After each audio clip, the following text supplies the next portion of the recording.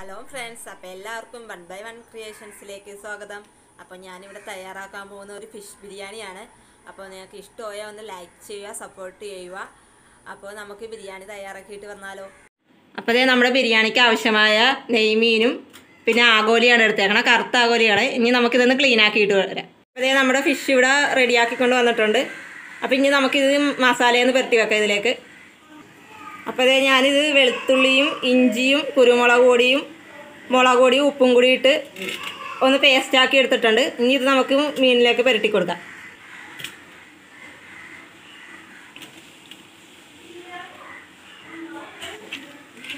അപ്പോൾ മസാലയൊക്കെ മൊത്തം ഇതിലേക്ക് പുരട്ടണുണ്ട്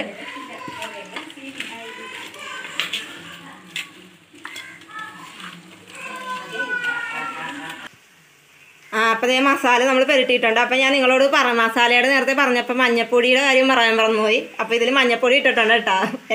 അപ്പോൾ ഇനി ഇതൊരു പത്ത് മിനിറ്റ് നമുക്ക് മസാല പിടിക്കാൻ വേണ്ടി ഒന്ന് മാറ്റി വെക്കാം. അപ്പോൾ ഇതേ നമ്മൾ മസാല റെഡിയാക്കാൻ വേണ്ടി ഒരു പാത്രം അടപ്പത്ത് വെച്ചിട്ടുണ്ട്. ഇനി ഇതിലേക്ക് നമുക്ക് എണ്ണ ഒഴിച്ചു കൊടുക്കാം.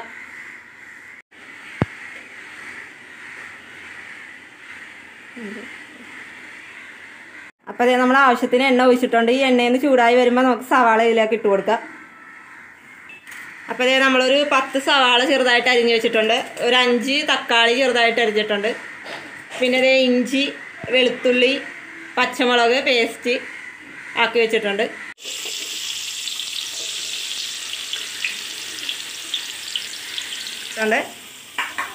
അപ്പം ഇനി നല്ലോണം ഒന്ന് വഴറ്റിയെടുക്കുക ഇത്. അപ്പം ഇത് സവാള ചെറുതായിട്ടൊന്ന് വാടി വന്നിട്ടുണ്ട്. ഇനി ഇതിലേക്ക് നമുക്ക് ഇഞ്ചി വെളുത്തുള്ളിയൊക്കെ പേസ്റ്റ് ഇട്ട് കൊടുക്കാം.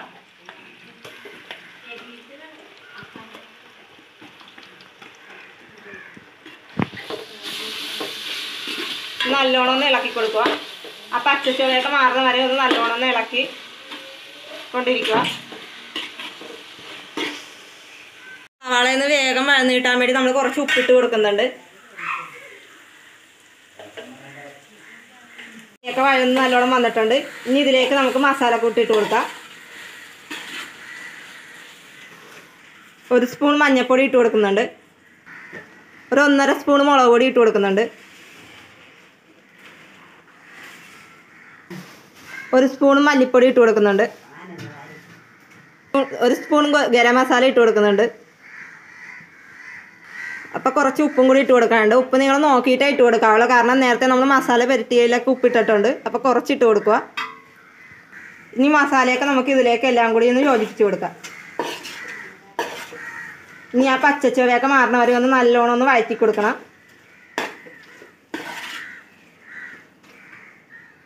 അപ്പോൾ ഇതിലേക്ക് നമ്മൾ മല്ലിയിലയും പുതിനയിലയും കൂടി കുറച്ചിട്ട് കൊടുക്കുന്നുണ്ട്. ഇത് ഇങ്ങനെ വട്ടം കണ്ടിച്ചിട്ട് കൊടുത്താൽ മതി. കത്തിയൊന്നും എടുക്കേണ്ട ആവശ്യമില്ല. കൈ വെച്ച് തന്നെ ഇടാം.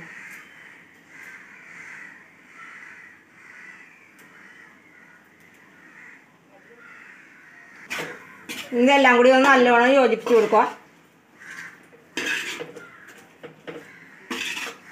അപ്പോൾ നമ്മുടെ മസാലയുടെയൊക്കെ മണമൊക്കെ നല്ലോണം വരുന്നുണ്ട്. അപ്പോൾ ഈ മസാലയെ നമുക്ക് ഓഫ് ചെയ്ത് മാറ്റി വെക്കാം. ഇനി നമുക്ക് മീൻ പൊരിച്ചിട്ട് വരാം. നമ്മൾ മീൻ പൊരിക്കാൻ വേണ്ടി ഒരു പാത്രം വെച്ചിട്ടുണ്ട്. ഇന്ന് ചൂടായി വരുമ്പോൾ നമുക്ക് കുറച്ച് എണ്ണ ഒഴിച്ചിട്ട് മീൻ പൊരിക്കാം ഇതിൽ അപ്പോൾ ഇതേ പാത്രം ചൂടായിട്ടുണ്ട്. ഇതിലേക്ക് നമ്മൾ എണ്ണ ഒഴിച്ച് കൊടുക്കുന്നുണ്ട്. മീൻ പൊരിക്കാനുള്ള ആവശ്യത്തിനുള്ള എണ്ണ ഞാൻ ഒഴിക്കുന്നുള്ളൂ. നിങ്ങൾക്ക് വേണമെങ്കിൽ നോക്കിയിട്ട് ഒഴിച്ചാൽ മതി. അപ്പോൾ ഞാൻ കുറച്ച് ഒഴിച്ച് കൊടുത്തിട്ടുണ്ട്. അപ്പോൾ എണ്ണ നല്ലോണം ചൂടായിട്ടുണ്ട്. ഇനി നമുക്ക് നേരത്തെ പെരട്ടി വെച്ച മസാലയൊക്കെ നല്ലോണം പിടിച്ചിട്ടുണ്ട് മീനിൽ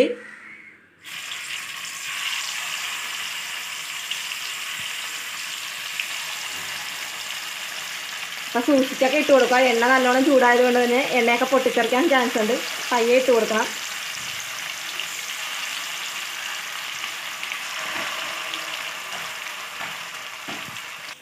അപ്പോൾ ഇതേ നമ്മൾ മൊത്തം മീൻ ഇട്ടിട്ടുണ്ട്. ഇനി നല്ലോണം ഒന്ന് മൊരിച്ച് വേണം കോരാൻ. അല്ലെങ്കിൽ മീൻ പൊടിഞ്ഞു പോകാൻ ചാൻസ് ഉണ്ട്. കാരണം നെയ്മീനും ആവോലി ആയതുകൊണ്ട് ഇത് പൊടിഞ്ഞു പോണ മീനാണ്. അപ്പോൾ അതുകൊണ്ട് നല്ലോണം ഒന്ന് മൊരിച്ചെടുക്കണം അപ്പോൾ ഇത് നല്ലോണം ഒന്ന് മൊരിഞ്ഞ് വരട്ടെ. ഈ എണ്ണയിലൊക്കെ കിടന്ന് നല്ലോണം ഒന്ന് മൊരിഞ്ഞ് വരും. അപ്പോൾ നമുക്ക് ഇതൊന്ന് മറിച്ചിടാം.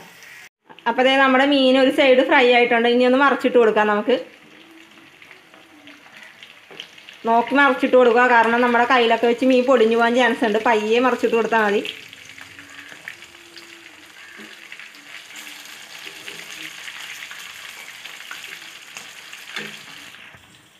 അപ്പോൾ നമ്മൾ ഫുൾ മറിച്ചിട്ട് കൊടുത്തിട്ടുണ്ട് പൊടിയാതെ. അപ്പം ഇനി ആ ഒരു സൈഡും കൂടി ഫ്രൈ ആയി കഴിയുമ്പോൾ നമുക്കൊന്ന് കോരിയെടുക്കാം ഇത് ഇത് നമ്മുടെ മീൻ രണ്ട് സൈഡും ഫ്രൈ ആയിട്ടുണ്ട്. ഇനി ഇതൊന്ന് കോരി മാറ്റി വെക്കാം നമുക്ക്. എണ്ണയൊക്കെ നല്ലോണം ഊറ്റി മാറ്റണം. അപ്പോൾ അതേ നമ്മൾ അരി വേവിക്കാൻ വേണ്ടി കലം വെച്ചിട്ടുണ്ട്. പുറത്താണ് നമ്മൾ ചെയ്യുന്നത്. അപ്പോൾ അതേ ഇവിടെ പകുതി മുക്കാലും വെള്ളം വെച്ചിട്ടുണ്ട് ഇതിൽ അപ്പോൾ നമ്മളിത് ഊറ്റിയാണ് എടുക്കുന്നത് അരി വേവിച്ച്. അപ്പോൾ ബാസ്മതി റൈസാണ് നമ്മൾ ഇതിൽ ഇട്ട് കൊടുക്കുന്നത്. ഒരു രണ്ടര കിലോ അരിയാണ് നമ്മളിപ്പോൾ വേവിക്കാൻ പോകുന്നത് ഇതിൽ വേവിച്ചിട്ട് നമ്മൾ വെള്ളം ഊറ്റിക്കളഞ്ഞാണ് എടുക്കുന്നത്. അപ്പോൾ ഇത് ഈ വെള്ളം ഒന്ന് തിളച്ച് വരണവരെ നമുക്ക് നോക്കാം. അപ്പോൾ ഇതേ വെള്ളം തിളക്കണ സമയം കൊണ്ട് നമ്മൾ അരി ഒന്ന് കുതിരാൻ ഇട്ടിട്ടുണ്ട്. ബസ്മതി റൈസ് ആയതുകൊണ്ട് കുറച്ച് കുതിരണം. അപ്പോൾ ആ വെള്ളം തിളച്ച് വരുമ്പോഴത്തേക്ക് നമ്മൾ ഈ അരി കുതിർന്ന് കിട്ടും. അപ്പോൾ നമുക്കിത് വെള്ളത്തിലിടാം കുറച്ച് നേരം.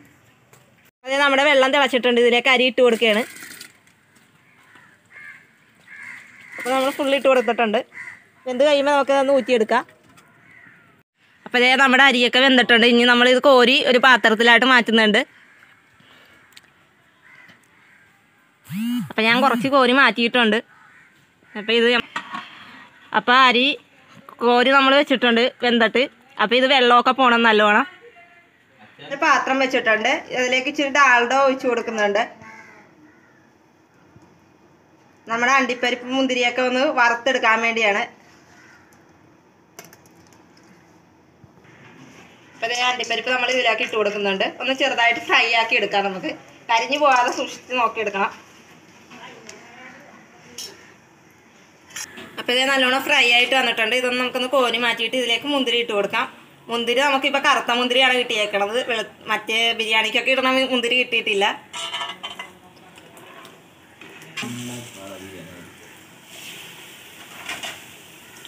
അപ്പം ഞാൻ നമ്മൾ മുന്തിരിയും കൂടി ഇതിലായിട്ട് ഇട്ട് കൊടുത്തിട്ടൊന്ന് ഫ്രൈ ചെയ്തെടുക്കുന്നുണ്ട്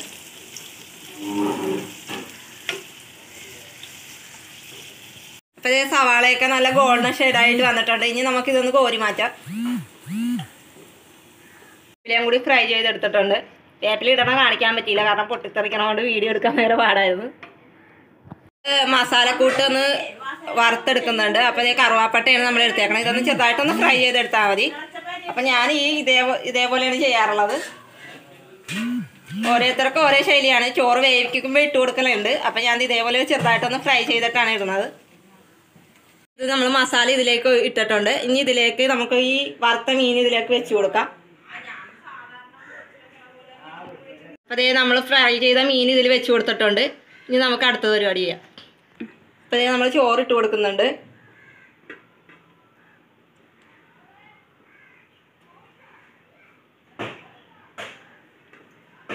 ഒക്കെ ഒന്ന് കവർ ചെയ്ത് വെച്ച് കൊടുക്കണം.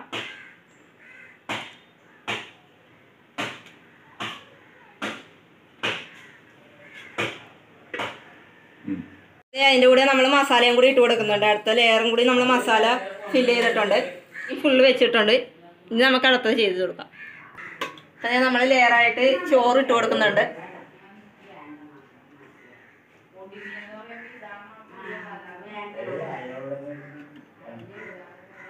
നമ്മൾ മസാല വറുത്ത് വെച്ചത് ഇതിൽ ഇട്ട് കൊടുക്കുന്നുണ്ട്.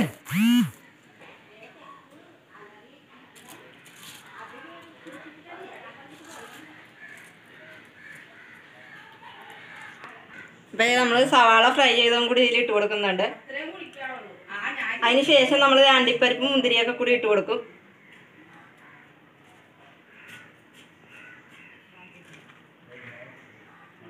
നമ്മൾ അണ്ടിപ്പരിപ്പും മുന്തിരിയൊക്കെ ഇട്ട് കൊടുത്തിട്ടുണ്ട്.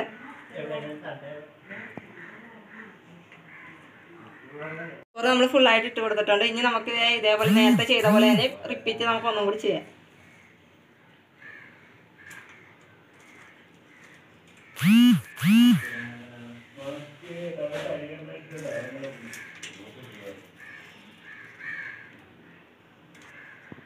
അപ്പോൾ ഇതിലേക്ക് നമ്മൾ റോസ് വാട്ടർ ഒഴിച്ചു കൊടുക്കുന്നുണ്ട് ഫ്ലേവറിന് വേണ്ടി. നമ്മുടെ ബിരിയാണി ഇവിടെ റെഡി ആയിട്ടുണ്ട്. ഇനി നമുക്കിത് സെർവ് ചെയ്യാം. ബിരിയാണി ഇവിടെ റെഡി ആയിട്ടുണ്ട്. അപ്പോൾ ഞാൻ ടേസ്റ്റ് ചെയ്തിട്ട് എങ്ങനെയുണ്ടെന്ന് പറയാം.